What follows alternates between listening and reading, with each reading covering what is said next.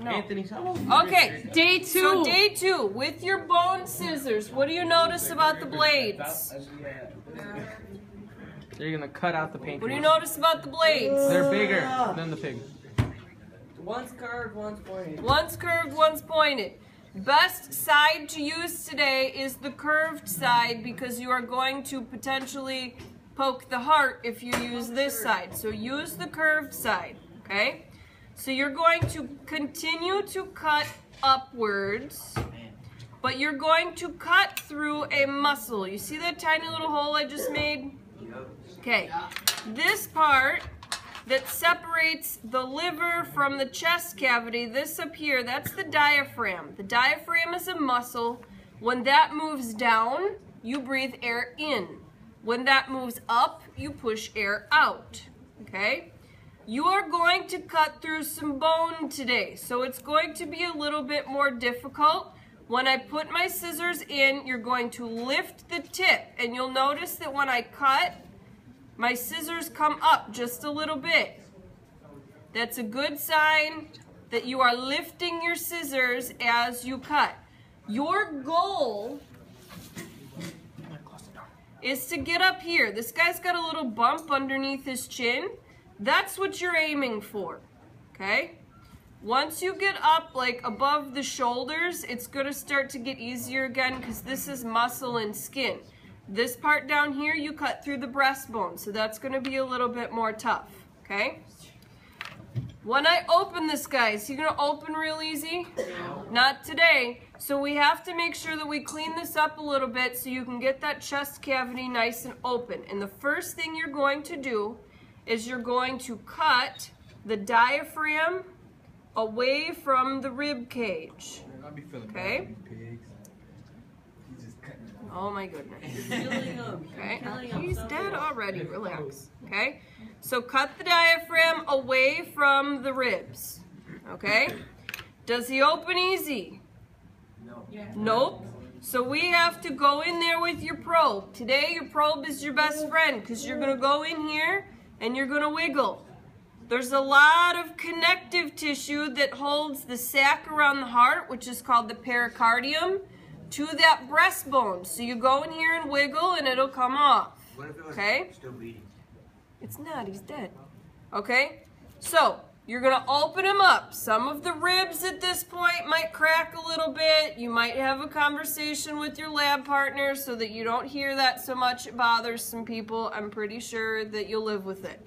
What are these two things on either side? Lungs. Lungs. What's this in the middle? Heart. Tell you right now that's not an answer on the test because you're smarter than that. So, pericardium. See this film that's over the heart? Mm-hmm. Okay, that's pericardium. It helps to lubricate the heart. It's kind of a sack of water so that muscle doesn't get tired. Like what happens when you work out and work out and work out? You get sore, right? Does your heart have that option? No. No, because your heart has to keep pumping. It can't get sore and quit, right? So the pericardium helps to lubricate that muscle. You're going to push that to the side. Sometimes you might have to cut it a little bit, okay? One other thing that your pig book is going to ask about is the white-ish massive tissue above the heart. This is called the thymus. That produces some hormones. So what system is that going to belong to? Uh, the, uh, the E1. The E1. What's the Endocrine. E1? Endocrine. Endocrine. Okay? So I'm going to move that pericardium to the side, and the heart's going to look a little bit different. What do you notice about the top of the heart? It's lopsided. It is kind of lopsided. It sits crooked in your chest. Yours does too. But it's darker up on the top. And it's a little bit spongier. It's a little more squishy. Down here is harder. The top two chambers, what are those called? The uh, atria. The atria. The bottom two chambers, what are those called? The ventricles. So when you start labeling the heart that's in your pig packet, it's the same as yours. You can use your human body notes to label the parts of the heart. The last thing that you're going to do is get up into the throat, and that's where your probe is really useful because there's a lot of different things up in your throat, lots of muscles. Um, this part, hard to see. Okay. This is thyroid gland, so thyroid in the throat, thymus by the heart. But what you're looking to do is uncover this big lump right here. Okay? And you don't want to cut it, so you just kind of get up in here and wiggle everything around. The esophagus. Okay? We're not looking for esophagus. Esophagus is way back here. I actually might be able to get to it in this pig. We'll see. Okay? But what? Trachea. So this tube that looks like a straw, that's trachea. And you can tell because it's held open. Why would you want your trachea held open? Because that's where the air goes. Because that's where the air goes. If it collapses, you can't breathe.